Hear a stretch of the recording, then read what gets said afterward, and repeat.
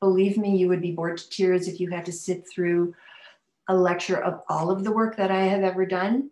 Uh, so I've really been selective and um, I hope that the series that I have selected uh, will give you a broad enough sense of the types of things that I have been interested in um, regarding color and the strategies that I have used to uh, answer questions that I have brought up to myself about uh, the multidimensionality of color.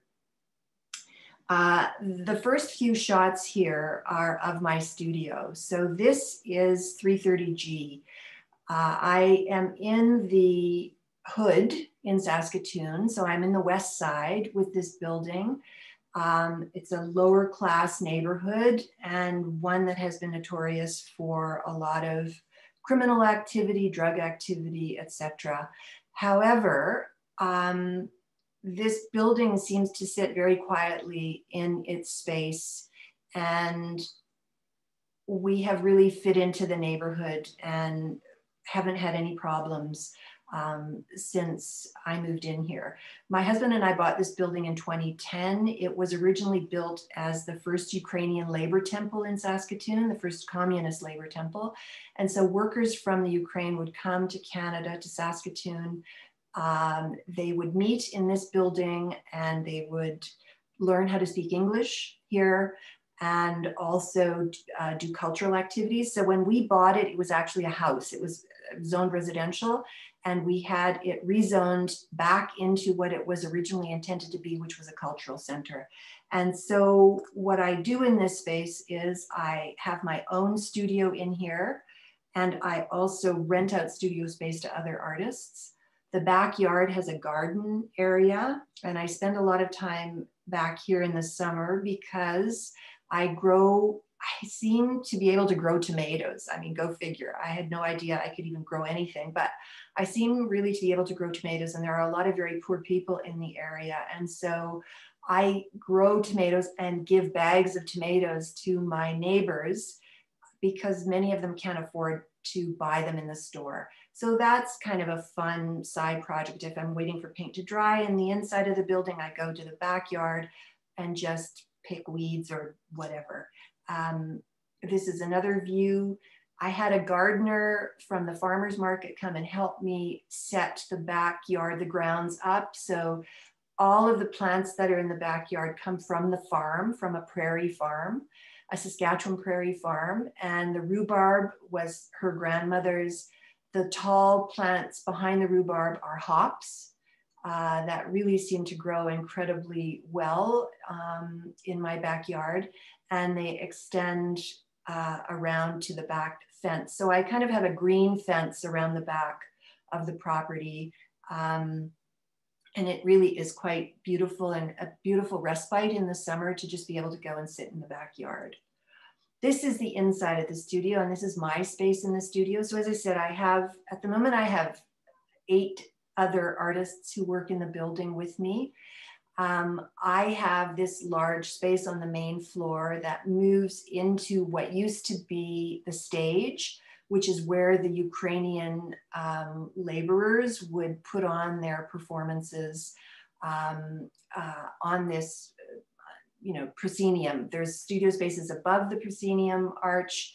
There are studio spaces in the basement, and there are other small areas on the main floor and off the main floor um, where artists are renting spaces from me.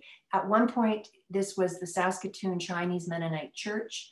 And so there were crying rooms for babies, which is now one studio space. There was an office for the priest, uh, which has been converted into another studio space. So the building is really um, full and utilized to the maximum um, in the way that it was originally meant to be used. And I'm really happy about that. Uh, the project space that I run is in the front foyer. And if you want to access exhibitions in that project space, all you have to do is go to www.330smallg.ca. There's a painting show up in the project space right now um, of Western Canadian, 10 Western Canadian painters, established and emerging painters. Coming out of COVID, I wanted to have a conversation between generations and between Western Canadian artists, painters who I wanted to treat as a community rather than individuals, um, a community speaking to other members of the community. Um, and I hope that you will check that out on the website. I also have an Instagram account at Marie Lannoo 5, lowercase, all one word.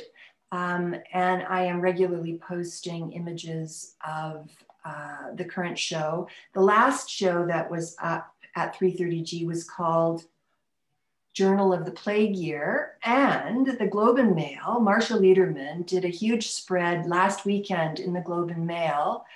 Um, I think there were three articles in the print and the online editions that featured work from this particular exhibition. So I was really happy about that for the artists.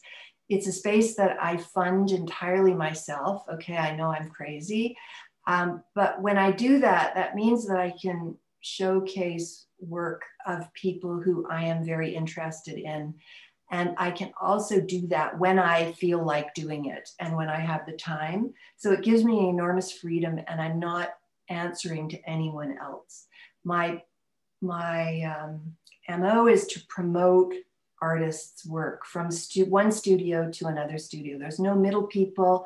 I don't sell the work. If anyone's interested in buying it, they can simply contact the artists directly. I just want to get the work out into the world. I want the work from Saskatoon and Saskatchewan artists seen in context with other artists from away. And this is my small way of giving back to the community.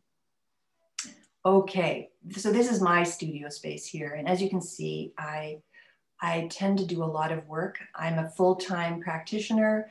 I don't have any other jobs. This is what I do. And I tend to work a lot and fill up um, any space that I happen to have. So my next, there's another one. So a lot of the paintings that you see here on the tables, there will be close-ups of them at the end of the presentation because these, many of these works are works that I have produced over the last COVID year. Um, I was telling Robin and Doreen earlier, I, I've never been more productive. I mean, I had no way of predicting that COVID would mean I would be as incredibly productive as I have been. Um, and so, you know, this is just a small selection of, I don't know, there are a lot of paintings that I've done uh, in the past year. Uh, I tend to work flat on tables. Um, and uh, I also work on a powdered stone substrate. So at the back of this shot, you can see uh, these hanging racks with uh, works on, it's not really paper, it's powdered stone and resin that binds this into a flat substrate. Um, calcium carbonate actually, which is found all over the prairies. I really love this material to work on. And because I use very high gloss medium in a lot of cases, you can't lay one on top of the other, they'll stick to each other. So I have to hang them on hangers on coat racks, essentially. But it would be fun to actually have an exhibition, I think, like this with these works hanging on coat racks because um, there is something lovely about this idea of being able to move them around, touch them, um, have some sort of a hands-on um, relationship with these pieces that I really quite like. So there's another close-up shot of the many this is just one iteration of the tables. They all get taken off and another set gets filled uh, or, you know, fills the tables up um, and so on and so on. Uh, I'm going to start uh, with, so, you know, these are the paintings on canvas. The next shot um, will show you another aspect of the research that I have been doing into color. I'll start with a quote from David Batchelor, who is a Scottish artist living in London who has worked with and written extensively about color. One of the books that he wrote is called Chromophobia, which I'm sure a lot of you have read. In his book, The Luminous and the Gray, he says, I quote, Color belongs to both the arts and the sciences, to both high and popular culture, both to theory and to storytelling. Color is truly fluid. It spills over subjects and seeps between disciplines. It escapes those containers that were built to house it and drips into the places that were designed to keep it out. He goes on to say that as a result, insights about color come from a wide range of different places. So as you saw in this slide, I've been working with color for many years using layers and layers of transparent acrylic color to build both a physical and an illusionistic depth of field. This is an old master's glazing technique, but instead of oil paints, I'm using acrylics. Several of these series have dealt with the painted color as light. I was applying many layers, building an architecture to create an internal luminosity within the painting, to achieve color that felt like it was illuminated from within using a very low-tech approach by hand painting each of the layers. Robert Enright in a review for Border Crossings called me a color field painter, and that's F E E L E D. And many people have mentioned Rothko when they speak about my color. In these works, I was after a very visceral emotional response. Surfaces were extremely high gloss to reflect and add the viewer as an embodied subject and participant. It only occurred to me somewhat recently that I didn't really know much about the physics of light in relation to the perception of color in humans. At the same time, I experienced a bit of synchronicity. I had been reading about deeper layers of space where light was being used to look into matter at the subatomic particle level, like the work being carried out at the synchrotron here in Saskatoon. It's the Canadian Light Source Synchrotron at the University of Saskatchewan. And at the same time, I had also heard an episode of Quirks and Quarks with Bob McDonald on CBC Radio. During an archaeological dig, a German scientist unearthed a moth that was brilliant lime green. Winged insects are generally found with no color in their wings when they are unearthed, just brown or gray and squished flat. But why had this moth retained its color? And this wasn't that long ago that this was discovered. She took it back to the lab and put it under a powerful microscope and found that the structural integrity of the moth's wings had been maintained in the material it was encased in. This led her to deduce that it was the structure at tiny scale inside the wings that interacted with light to produce the lime green color. So I asked myself, why wasn't I looking at color in a deeper way, at its source? To understand how color comes into being, I had to study the physics of light. Color doesn't exist in the dark. When you turn off the lights tonight before going to sleep, remember the color of your bedclothes because when the lights are out, they are black. Color needs light to exist. This exhibition at the Mendel Art Gallery in Saskatoon in 2010 was called Through and Through and Through.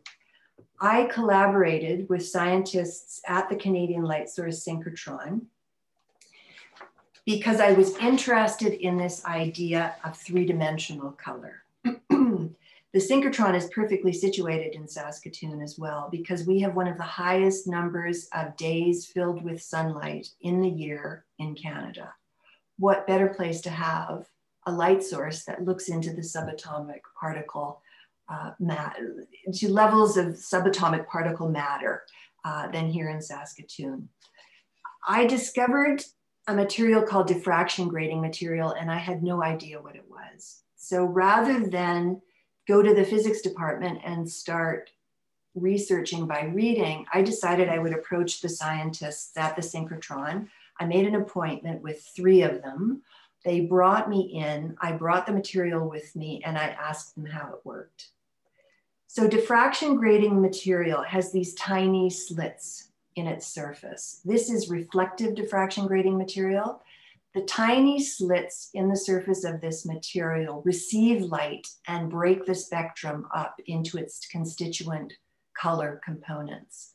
So I thought, why not create an installation where my viewer would be fully immersed in three dimensional color, not only on the walls of the installation, made using this reflective diffraction grating material, but also on the floor, which uh, I lined with just a white polymer and the three-dimensional color reflections then hit the surface of the floor.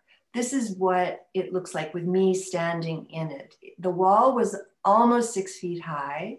It was 64 feet long. Um, and when you walked inside of the installation, you were fully immersed in three dimensional color and color reflection. Um, I felt that it had to be of an architectural scale.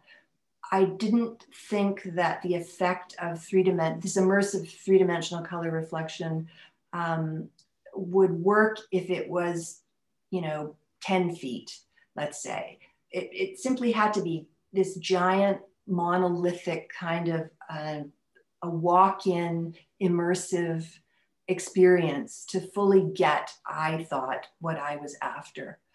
One of my friends at the time that the installation was up uh, was partially, well, almost totally blind. And I was very interested to wheel, she was also, she's also um, a paraplegic. And so I wanted to put Carla inside this space in her wheelchair.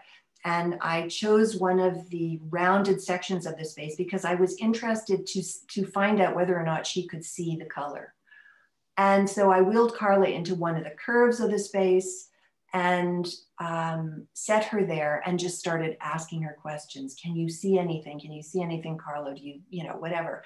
And she said, I can't see anything, Marie, but I am so hot. I can feel this. You have to take my coat off, which I thought was a really interesting reaction for someone who had very little sight. She couldn't see, but she could actually feel the light and the heat that was emanating off of this material uh, within the gallery space. Um, this is just another shot. Again, walking around the space, the installation was immersive and interactive. So every time you moved within the space, the spectrum would change. Um, so it was just a very animated, experiential um, installation. And I quite like that about it. Color is unstable and it is always in the process of coming into being. And while people walk through this, that's exactly what happened. This is what the material looks like when it is transparent. The other material, as I said, was reflective. So what that means is that it was lined with almost tin foil, if you can imagine. Um, this transparent material was put onto an aluminum foil uh, situation. And that's why it reacted in this way. Without that aluminum foil backing, this is what diffraction grating material looks like.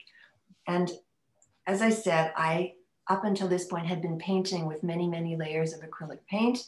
And I set the material up with the transparent diffraction grating uh, material in the same way, layers and layers, small pieces on top of the other, so that as you move around these uh, works on paper, the color would change based on light interacting with the tiny slits in the material. This is a slide of uh, the diffraction, the transparent diffraction grating material on a white background and on a black background, just to show you uh, the difference uh, that a reflected back, light background and one that absorbs light uh, had on the particular material. These were small pieces. I thought of them actually almost as petals on a flower. I'm very fascinated with nature and how natural objects um, deal with color or you know enable humans to see color and the strategies that nature actually has devised in the petals of a flower for example a tulip let's say um, to increase and decrease the intensity uh, of the color and also to um, vary the color, the color within one small flower head. Uh, and I use the simplicity of that um, very often as a thinking point uh, in the paintings that I'm doing. So, so the first series then is uh, a sort of an investigation into the physics of light, uh, the use of this diffraction grating material to produce color with completely non-conventional artists' materials. I mean, I wasn't using paint, I wasn't using brushes, I wasn't using pastels, or I wasn't using any conventional materials, but here I was getting full three-dimensional spectrum color from a material that was interacting with light, which, you know, as a painter was completely fascinating to me. This then I decided to try using the sun as my light source. And so I got permission to put up a mural on the outside of an artist run center in Saskatoon called AKA. Obviously, the sun is the most powerful source of light, and I wanted to set this material up in a way that would generate color reflection outdoors. Um, as you know, we are land of the living sky and the prairies. We get a ton of sun. Um, and in this uh, image, you can see some of the reflections that happened when I curved uh, this uh, reflective diffraction grating material on this surface. And here you see more reflections, but also you see a prairie sky um, interacting with a full color reflection, uh, curvilinear installation on the outside of a building. This was the first outdoor project that I ever did. And um, during the day, I would have, you know, three dimensional color reflections from the sun. Um, here's another one with our beautiful clouds. Um, it's, it looks a bit washed out actually it was more intense than this, but when you shoot it in the full sun, it's hard to capture uh, the full color, but you get a sense of what it looks like. Also, the open door is there just to give you a sense of scale. The mural was 51 feet wide and 15 feet high. And so during the day, I would get full uh, reflected color. And at night, I would get a drawing. There would be, again, as I said, color exists with light and um, there were no reflections on the surface of this material. And so during the day, I would have a painting, or at least this is how I considered looking at it. I would have a painting during the day with color, and at night, I would have a contour drawing.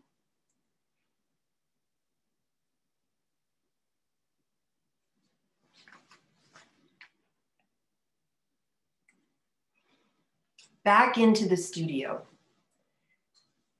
The next series that I attempted was a series of paintings, again, acrylic on panel, of the individual colors of the spectrum. Six, not seven or more. I just decided red, orange, yellow, green, blue, violet, make it simple. And what I wanted to add to my understanding of color was time. And how I decided that I would be able to do that was by creating layers of color one over the other. They started as a diamond shape at the top of these panels. Here is a better one. So here was the red. So it started at the top with um, the most minimal amount of red pigment that I could add that actually registered a light, light, light rose. And then each diamond on top of the next and so on had an equal amount of more pigment, three drops. I can't remember. I have notes on all of this, but anyway, three drops more and then three drops more and so on and so on until you got to the bottom of the painting. And as I said earlier, color is unstable and it is always in the process of coming into being because of light and the changeability of light over the course of the day in our lives. And so I had to come up with a configuration that would get to the heart of this idea of time and also this notion of the constant changeability of the color uh, as you moved through the space around this painting. And so as I said, I chose a diamond shape. I chose to repeat that diamond shape over itself over and over and over again so that by the time you got to the bottom of the painting, it split up into these tiny pixelated squares. And pixelation is obviously the way that color is produced on a screen as well. And so I was taking that into account um, uh, on top of everything else.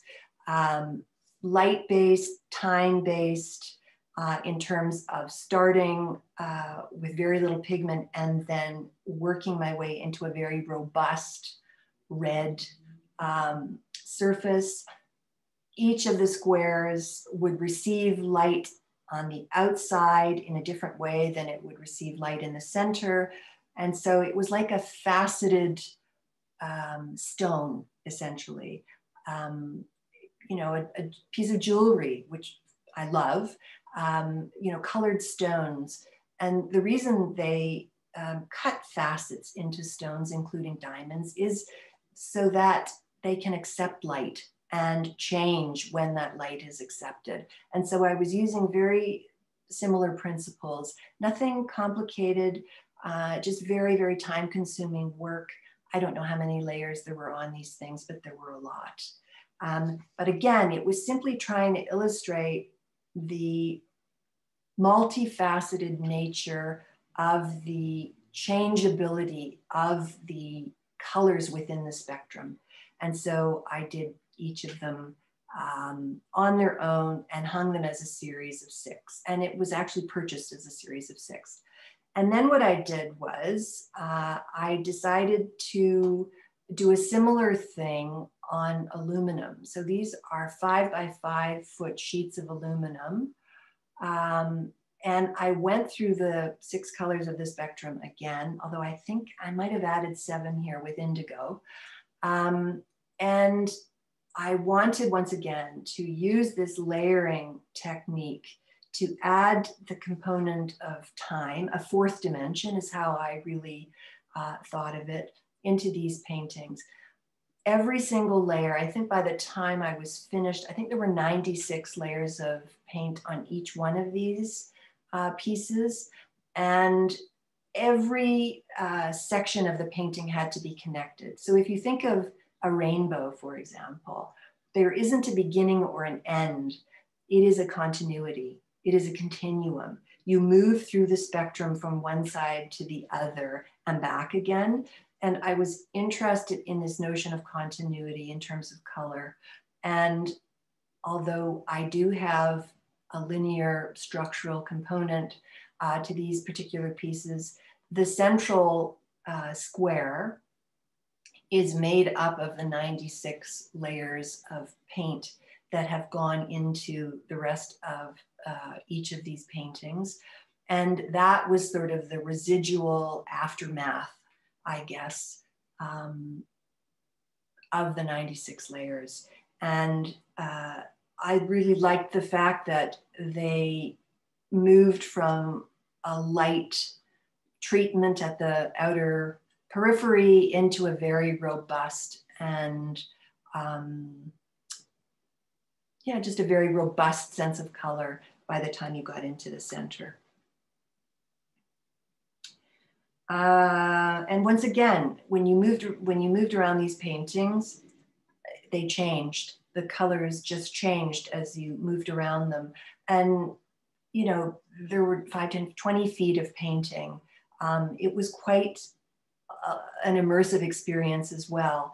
And as you can see in this particular shot, um, they reflected into the floor, which, you know, again, color, I, I had it spreading out into, into its environment.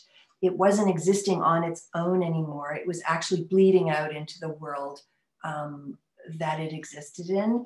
And I really quite liked uh, that idea. And this was also expanding my notion of uh, color in a similar way to um, the first uh, piece that I showed you, which was through and through and through, where my viewer was going to be fully immersed in the colors of the spectrum. So here is a close-up of one of the single pieces.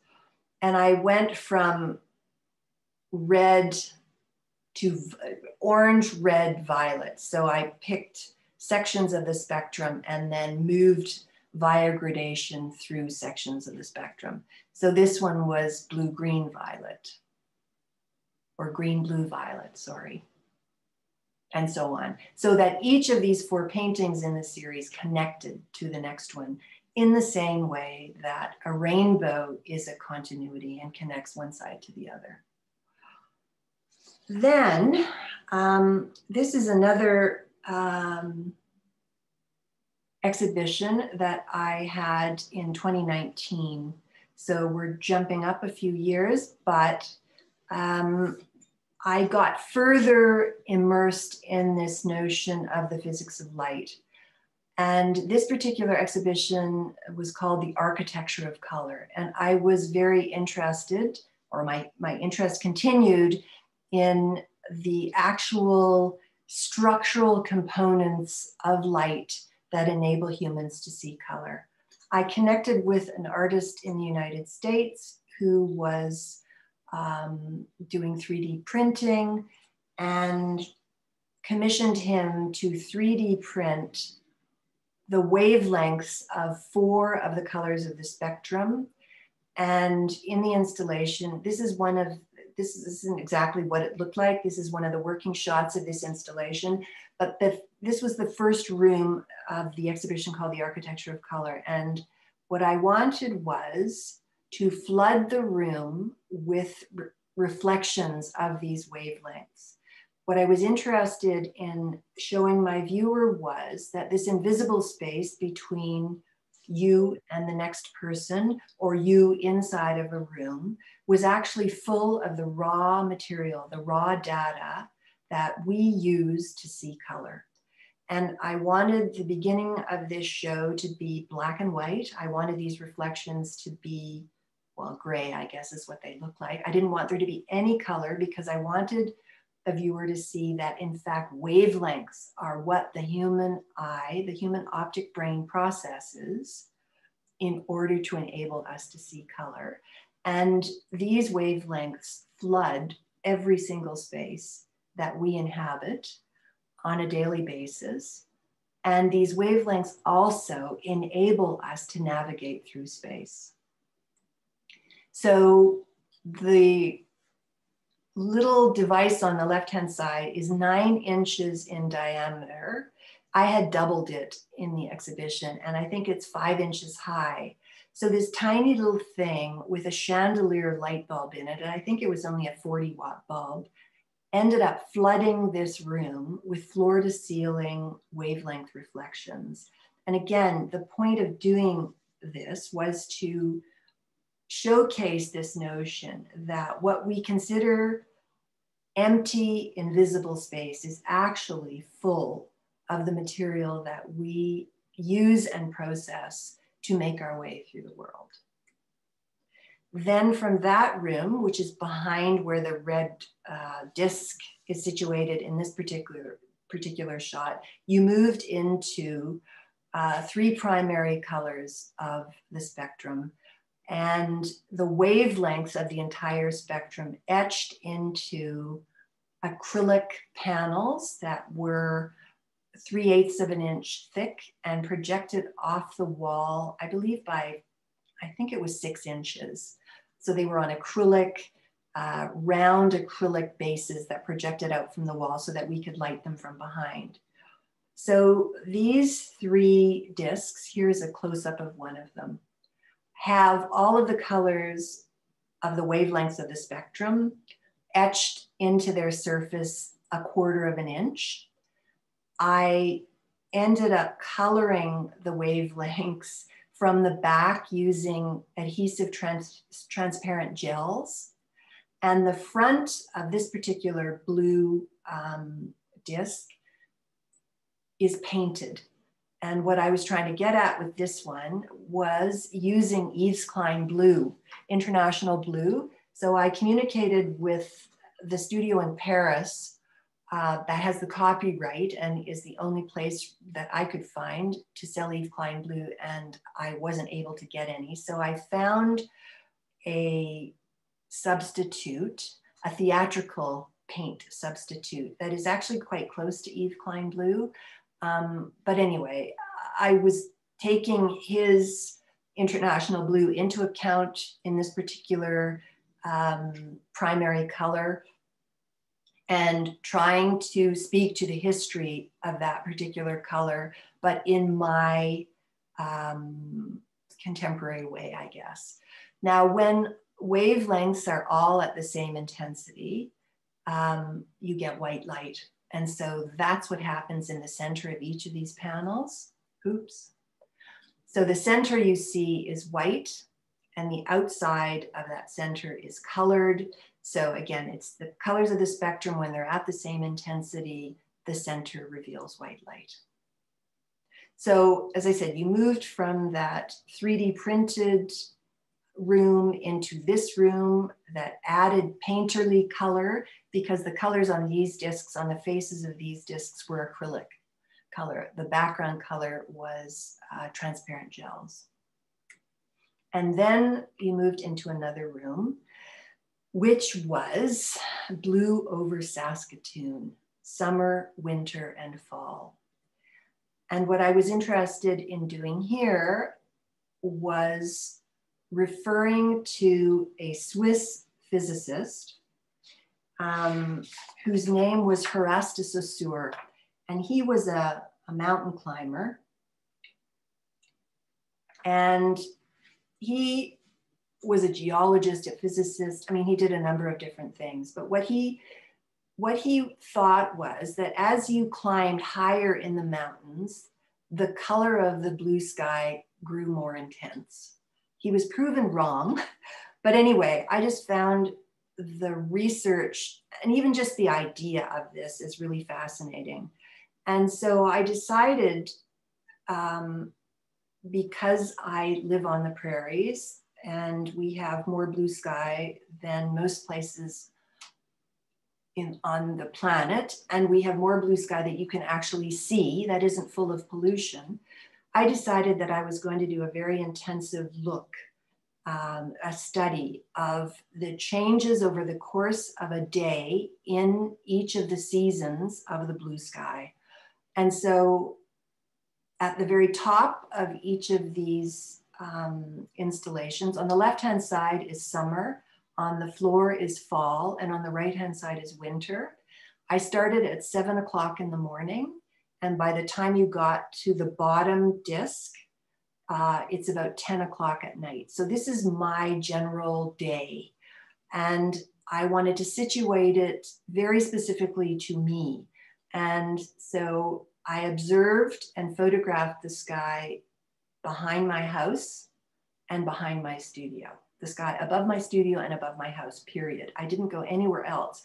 I really wanted to situate myself geographically and have a close look at the change in the color blue in my very specific private world. Well, I had no idea that the blue sky experienced so many changes over the course of the day. And close observation revealed a number of things. So if you look at the bottom blue on the left-hand set of summer, that very bottom blue. There were 25 panels in each one of these sets. Each of those panels is 13.5 inches in diameter and 3 eighths of an inch thick. So the bottom panel of the left-hand summer sky, and then you refer to the right-hand winter panel and go down one, two, three, four, five, six, seven, eight, nine, 10. So the far left outer panel of the one, two, three, the fifth row that bottom summer and that center left-hand panel are the same color of blue.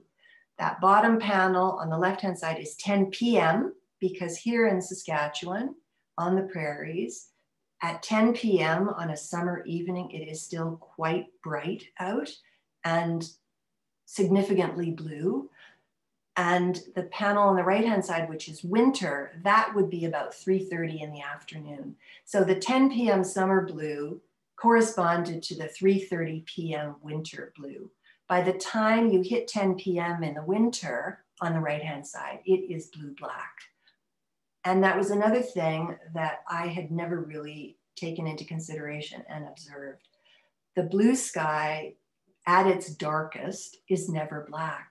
It's still full of blue. It's just dark, dark, dark, pitch black blue, um, but it's still blue. And you know, the bottom panel or the, the floor panel, I situated the autumn blue on the floor and not on the wall ahead of us because I wanted my viewer to look down to see what was up. I just wanted to skew their normal way of viewing the blue sky in the autumn and have them look down. I called it a narcissus effect to see what would have been reflected above. So this is summer and this is fall, um, sort of looking at each other. It's hard to tell in these images, but each of these panels was hand painted. I didn't want them to look like I had just gone to Benjamin Moore and, you know, bought cans of paint that, you know, whatever, and then just slapped them on. No, I wanted there to be breath and life within the application of the paint in each one of these discs. And so much like viewing the sky, you know, there's never, it's never um, uniformly the same. There are inflections, there are clouds that might um, hint themselves into a frame, you know, and as a painter, I wanted these, these um, discs to be painterly. I wanted them to be full of the handmade, the inflections of my hand, that gave life to each one of these panels in the same way that the blue sky is full of life. I also did a series of blue sky paintings on aluminum panels again, similar to the um, series that I worked on um, called Kin, which was the one that I showed you earlier uh, of the spectrum colors. So again, these started at the top uh, right-hand side and moved from 7 a.m. until 10 p.m. Um, the far left is summer, the center is fall, and the right hand side is winter. Here is winter. And I simply split up my aluminum panel into 27 sections. I think that's how many there are here and observed the change in that sky and incrementally added pigment um, to reflect the changes in uh, not only the color of blue, but also the intensity uh, of the blue. And this particular painting will be reproduced on the cover of a book that is coming out in 2021 um, on nanostructures, which is really kind of fun uh, because that's definitely an area that I will get to uh, shortly. But one of my interests in um, structural color and how it comes into being. This looks empty, but what's actually in this is this. So the architecture of color, this was another piece in the architecture of color. Um, my family and I went to Iceland, and one of the trips that we took was to the Blue Lagoon. I had never seen or experienced an otherworldly blue like the blue we experienced at the Blue Lagoon. And when I came back to Saskatoon, I was determined that I was going to find materials that would enable me to recreate the experience of the Blue Lagoon in Iceland. Now, the Blue Lagoon is a crater and it's filled with geothermal water and silica sand. Light interacts with the silica particles and reflects back blue to the human optic brain. I searched and searched and searched for a phosphorescent alternative um, to this um, silica sand blue in Iceland. And I finally found one in New York City. And um, here's another small piece. So, so this piece that you're looking at is actually this piece here. You can kind of see the shape uh, of the blue shape two slides forward uh, in the background. And what happened here was I had lights that were illuminating uh, the phosphorescent material that is painted on this canvas to excite the particles so that when you turn the lights out, this is what showed up. Um, so here was a way of producing blue, but a blue that only showed up in the dark, right? I mean, blue shows up for us in the light. Here I had found a material to do the absolute opposite, to show the color, its essential color in the dark.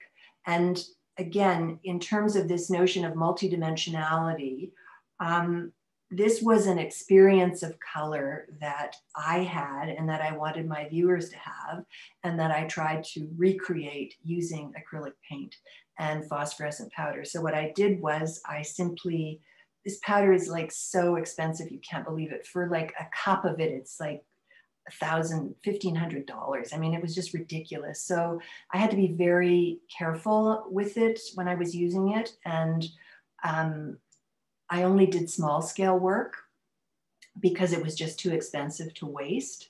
Um, oh, I don't have any more there. But anyway, uh, what I was getting at was building structures on canvas that were similar to the idea of the wavelength that enabled us to see color via the optic brain um, that looked like three-dimensional spatial structures once this material was activated and once light uh, in fact excited the particles within, within these phosphorescent materials uh, and enabled them to illuminate uh, the color that they actually were. Blue happens to be, for whatever reason, one of the more difficult colors to uh, produce. There's a lot of phosphorescent green, and I think there's also orange. Um, phosphorescence is also different than fluorescence. This has a longer uh, shelf life, meaning if you illuminate the particles in a phosphorescent painting, they take a longer time to lose their charge. So this would have stayed illuminated um, over a few hours. And the way it was set up in my exhibition was there were light stands in front of these paintings that had little foot pedals so that my viewer could actually turn the lights on and off and interact with the work in a way that uh, was definitely more intense than any other uh, painting exhibition I had ever had. And I really wanted to foster this notion of interactivity with the viewer, having them control the light levels and what in fact it was that they saw. Um, and that was another dimensional aspect that I added um, to this exhibition. So this one was actually like, you know, capturing a little house shape um, in that central uh, black rectangle. I mean, these are as flat as a board, you know, they're just so flat. But honestly, when you see them in the flesh, it's just like, oh my God, you want to stick your hand right inside that black shape and pull something out or feel what's behind that. And I really love that idea as well, that it would stimulate the senses in such a way that you actually wanted to put your hand inside there and pull out what might be inside that black space. Okay, so here we are in COVID. Uh, and once again, this is how I work. You see knowledge based or scientific research based work, and then you see very visceral, intuitive, uh, emotionally based uh, paintings. And I have a personality that is of those two extremes. And so David Batchelor's idea of color belonging to both the arts and the sciences fits very, very well and is very suited to my personality. So this is one of the paintings. Um, I have maybe seven or eight paintings that I've produced over the course of this COVID year. And what you'll notice in this one, I called this painting sinusoidal red. You can see sort of at the bottom where the dark gradation starts to open up and get lighter, that there's actually a wave. Now, it's not the actual wavelength of red, but I very much had this notion of trying to uh, physically paint a wavelength without actually painting a wavelength. And so uh, it's just via manipulation of paint, pulling with squeegees, um, and depositing more paint, lifting more off, a lot of underpainting, obviously that you can see uh, on the edges, um, and also through the body of the painting as well. Um, but I was really still interested in this notion of wavelength uh, in terms of pigmented color. I got very robust. Uh, this would have been painting that was done in the towards the end of last summer, but still the COVID pandemic summer. Um, and it must have been an antidote just to the feeling of isolation and lockdown. Um, and I just got terribly interested in this beautiful pink. I don't own anything pink. I, you know, pink is not one of my go to colors, but it really spoke to me. And um, so I did a series of paintings that are very, very deeply, deeply, uh, deeply pink. Um, and again, there is no beginning and end in some sections of the color. I wanted it to feel like a continuity, that it sort of came into being uh, and then left, much like the wind travels through the prairies. You know, there's no beginning to the wind and there's no end to the wind. It just travels through and then leaves and then comes back again. It's not like a stop start activity. Um, and here it was the same sort of thing. I wanted also in using this notion of continuity to open up the possibility of pockets of light. And so you know, at the top right hand corner and the bottom section, for example, there's breathing space there. There's light that's allowed to come behind the pink and illuminate it from behind. Here's another pink one. And you can, it's, it's a, a much more of a close up of my process as well. So as I said, I use these um, squeegees um, and I like using durometers that are very uh, flexible so I don't use hard squeegees, and these are made for me. They're big wooden squeegees, and um, the rubber is quite flexible. And that enables me to uh, move the paint around in a simpatico way to my sensibilities um, and deposit it where I want it deposited and uh, pull it away um, where I want it pulled away. So these paintings, all of the paintings in this past COVID year have been totally based on intuition. So I just put the knowledge um, yearning to the side and it was guts, intuition, all or nothing. You know, if you're going to use paint, go for it. Do not hold back. No holds barred. Um, that was the mindset that I was in. It was sort of like, if I'm going to be isolated, I'll show you isolation. And so I just really went for it. And I hadn't painted on canvas in 30 years. So all of these paintings that you're seeing and the ones that were produced in this past year um, were just, I was desperate to work smaller. I was desperate to work on a new material. I didn't want to use panels. I didn't want to use aluminum. I didn't want to be big. That that architecture of color exhibition was so big. I just wanted something intimate and emotional and handheld that I could just experience in a quiet, contemplative way. And so um, canvas was the way to go. And these are all stretched canvases, primed and stretched. I didn't want to have to do any extra work. I just wanted to go, you know, like the painting is ready, the canvas is right there, start. I said everything was intuitive, but in the back of my mind, I was also in some of these dark ones thinking about black holes. And there was a discovery. You're going to have to help me out with this, but what was discovered about black holes, something relevant over the last year. Anyway, I was part of the news cycle and I listened to it and I just thought, hmm, that's kind of interesting. And also, I was just thinking of black holes in terms of just the total absorption of color and light, right? And um, there is there are a number of paintings um, in these series that, uh, although they don't specifically refer to black holes, I was definitely thinking about um, what black holes look like and what they actually do in relation to light and actually in relation to color. Here's another one.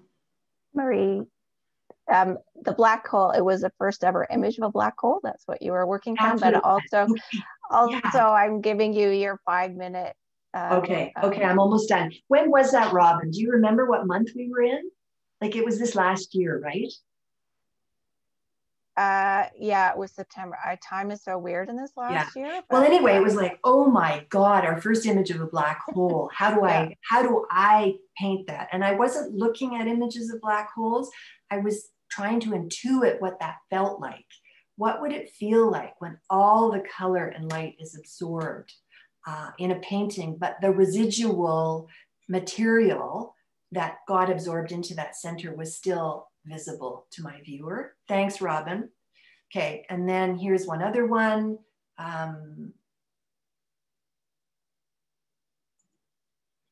this is COVID winter and just the beginning of, you know, this notion of just Saskatchewan being enveloped in white, although this is off-white. I've got to go a bit quickly because I've got a few more slides. And here's one other one. But this is also painting light. That's what I was interested in as well. Painting light, either light itself or the absence of light, and doing that with acrylic paint. And I am very uh, immersed in this continuing series. And I'm showing you eight, I must have 125. Here's another one. This is white light.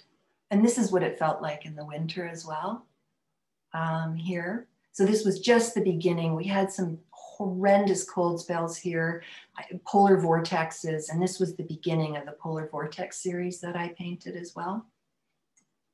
Okay, and then this is the last. Um, uh, I've got four more uh, slides. So back to structural color. I was very captivated by the blue, obviously obsessed with blue, but the blue in the blue morpho butterfly wing. And I wanted to find out how light interacted with the nanostructures of that butterfly wing to produce the blue colors. So I had the structure of the wings blown up like many, many, many times and uh, cut out of hard acrylic. This is one inch thick acrylic. And then I, again, used that technique of transparent gels and laminated them onto the back side of these structures. So you have to imagine light entering each one of those little indentations, like those little tree branches and then those circular indentations, and interfering and creating different uh, shades of blue essentially on that butterfly wing. Here are a couple of them, oh, there's three of them maybe. Each one has a different shade of this transparent gel laminated onto the backside. Um, what is fascinating to me about the blue morpho butterfly wing is on the one side, nanostructures create the blue colors in the front side of the wing. On the back side of the wing, it's pigment based color.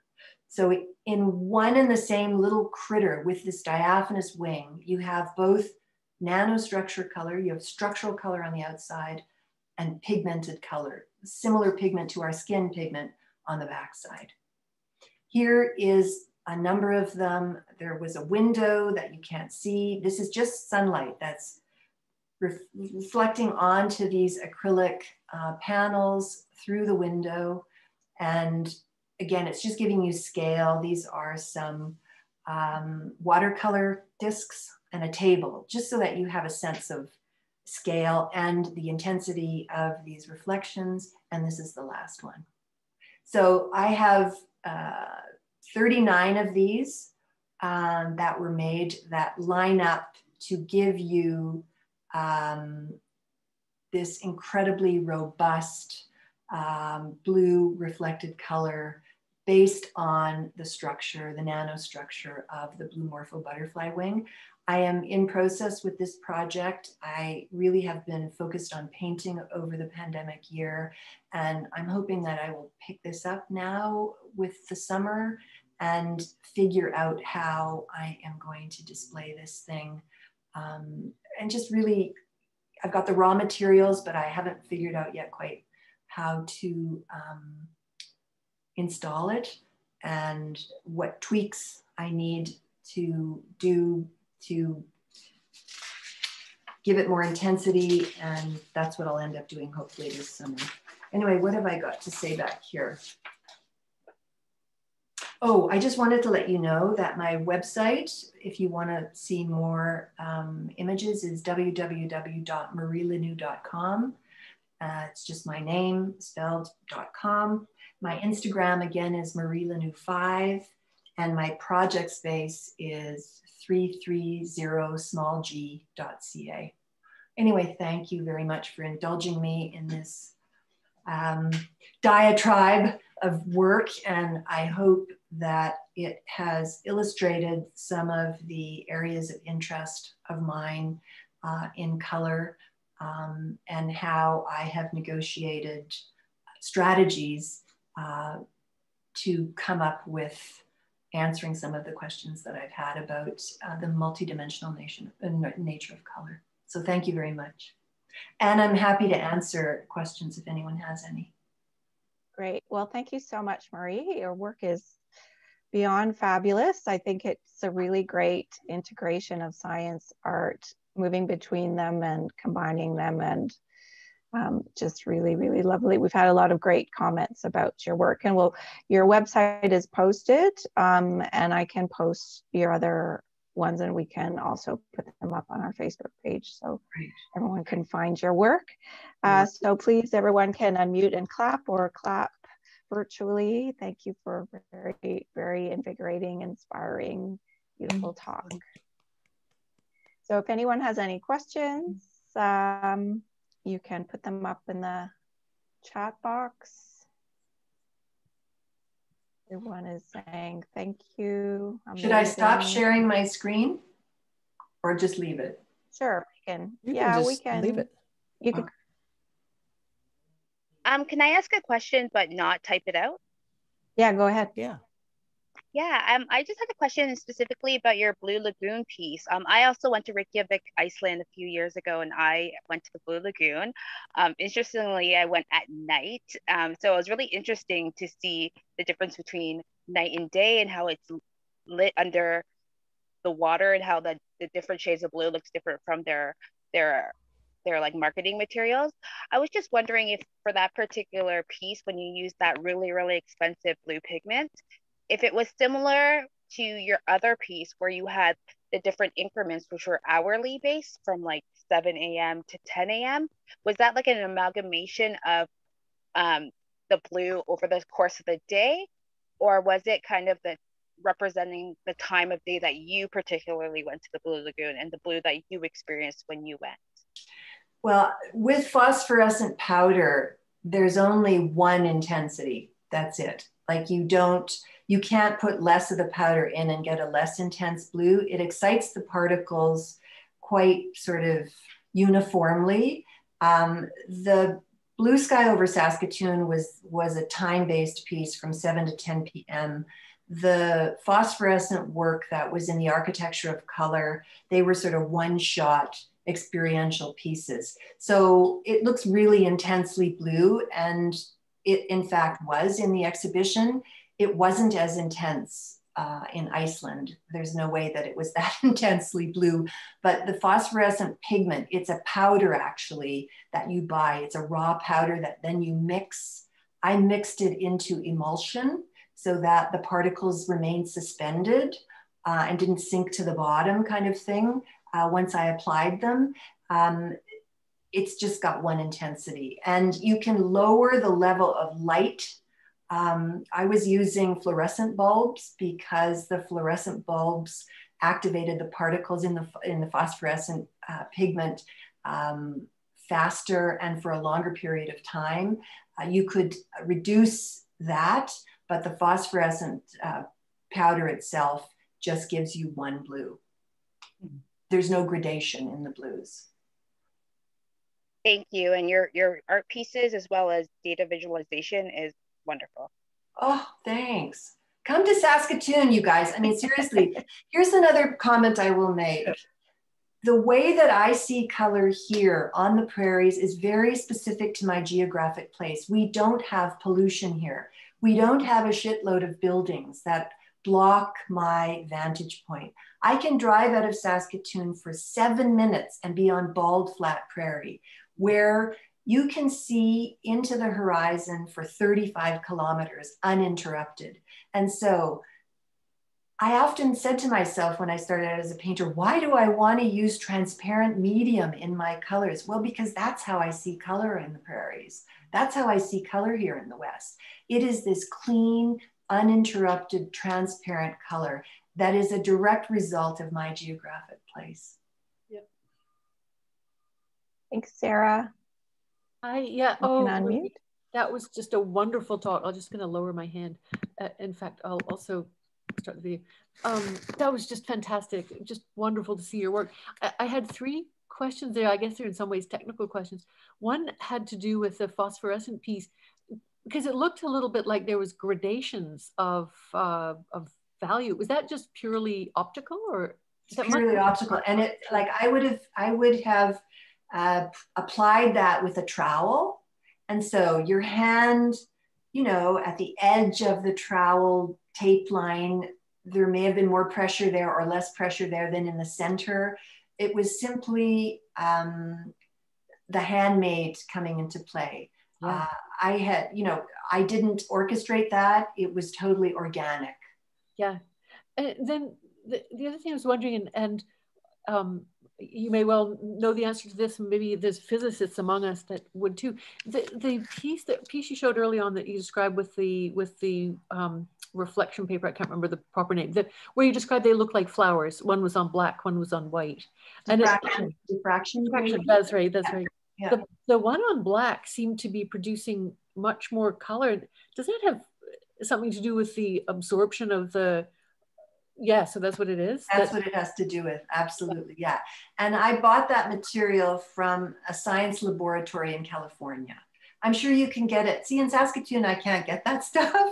Yeah. You can probably buy it in, you know, in the East, in Ontario or in, you know, Toronto or something like that. But I ended up just sourcing it online and going to a California lab and they use it um, for spectronomy um, experiments so under a microscope um, and the various colors in the spectrum, uh, depending on what it is that they're working with, tell them the level of seriousness of, let's say, a virus or whatever it happens to be that they're working with. Um, and so, um, so it does come from a scientific source, even though light is the way that it's activated.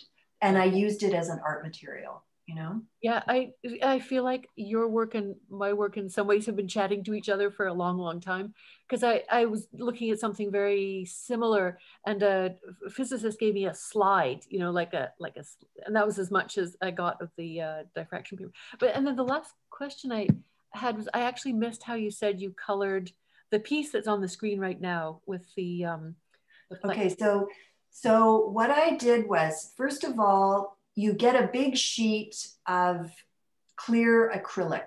And this is, this was 3 eighths of an inch thick. And what you have to do then is laminate these transparent gels. So it's a sheet of transparent blue gel. And you can buy these. Again, I found these in Saskatoon. I can't remember the name of the company that I used. But what they use these for are to color glass panels in office buildings, for example. So if they want a gray over an office um, room, let's say a meeting room, they just laminate this over top of the glass. Well, I simply went to that same company and said, I want to use this on hard acrylic. Will it work? And then you have various different blues that you can buy. So there's a whole range of blues, like maybe 12 or 15 different blues. And I just picked them out based on, I have a blue morpho butterfly that's been encased in a in glass. And so I was referring to an actual butterfly wing and the blue color in the butterfly wing. Now it's not the same and it's not as beautiful. But again, using my materials, I had to figure out how I was going to come up with a similar kind of interactive blue experience as the viewer moved around these pieces. And so I ended up just um, finding a bunch of blues and I also used dichroic gels. So dichroic gels are like the diffraction grating, the transparent diffraction grating. They actually reflect different colors in the spectrum, right? And so some of those are inserted. Like there, there's probably one in this slide that pinky kind of orangey stuff towards the back, that was probably dichroic, right? Um, and again, it's simply to tweak the viewer experience as you interact and move around um, these particular structures.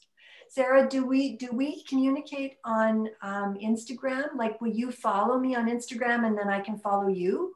For sure, yeah, okay, yeah. That would be great.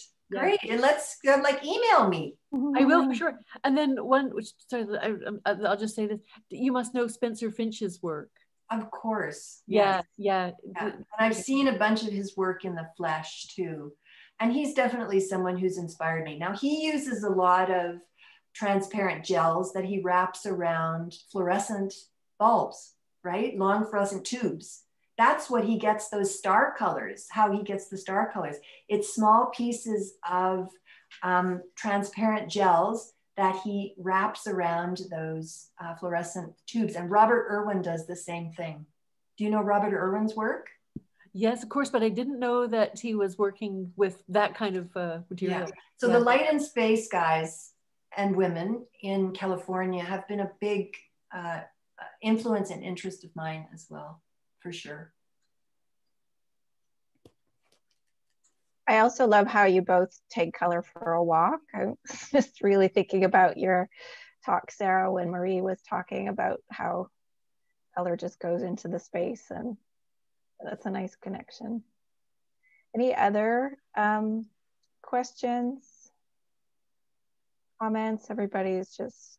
Well, if anybody does have anything else just email me or Instagram, like message me on Instagram or just connect with me that way. You might think of something tomorrow or, you know, later tonight or whatever that you mm-hmm. just, whatever, didn't think of now. And um, I'd be happy to answer anything I can. And I'm really curious about your work as well.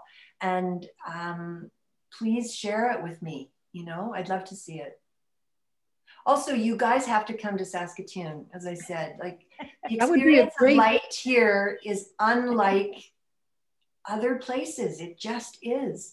That would be a actually, great field trip when we can travel again. Yeah mm-hmm. but you have to actually stand in this to really get it. You know like i can talk about it and say oh yeah it's blue and 35k and all the rest of it. But honestly it is insane when you can clearly see 35K into the distance. It really is. It's an experience that is just embedded in my psyche now. And, you know, if you ever have an opportunity to come here and experience it as well, I would highly recommend it.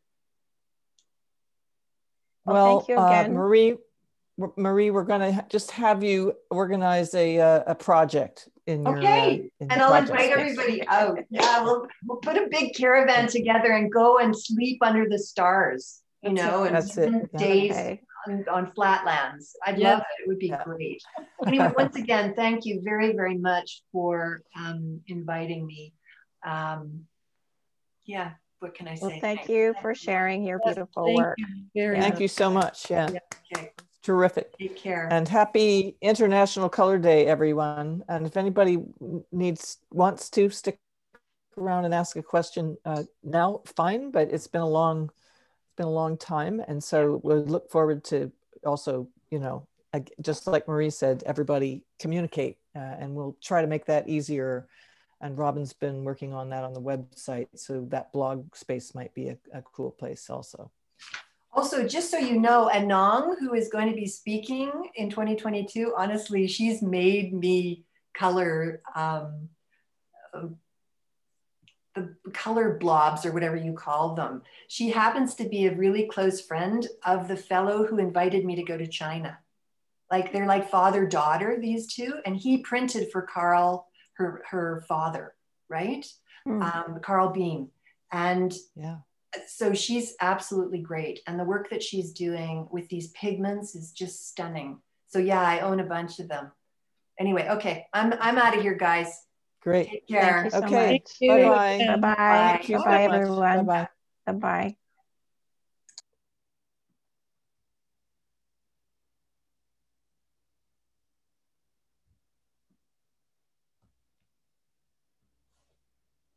So, um, Robin, I said this in the chat and I should just send you an email, but I'd be uh, really happy to work on things for the conference. Um, obviously, Great. I'm in Halifax, but I'm sure there's stuff that can be done at a distance. That's terrific. Okay. Yeah. Thank you. Should I send you a formal email so that you, so you formally got that in writing or? Yeah. Do that. Okay, I will do that. What I mean, one thing we've been wondering is um, whether we want to organize a, a visual art show or like at the banquet and welcoming whether there's any um, kind of performance component or things like that. So that might be a nice area to start thinking about. For sure. Yeah, yeah. That's a great idea. Yeah.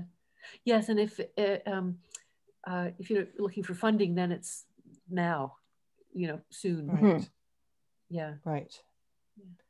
Yeah. So maybe a, a, a, a conversation, like having a, a separate uh, Zoom meeting or something that to uh, engage with those ideas. Yeah. Brainstorm. Mhm. That sounds Mhm. good. Yeah. Yeah. Lovely. Great. Thank you so much. All That right. Thank you. Yeah. Bye bye. Bye. Bye. Bye bye. Um, bye. Anybody else have have? I see some of you still here. Okay. Thanks a lot, everybody, for coming. Then bye bye. bye bye.